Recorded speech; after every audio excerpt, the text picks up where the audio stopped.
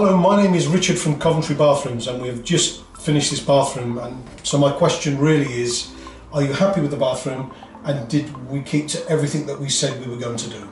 I am more than happy. You have kept to everything you said you would do from the day that you walked in this house to look at my bathroom. I liked you. We went to the shop. You didn't sell me anything.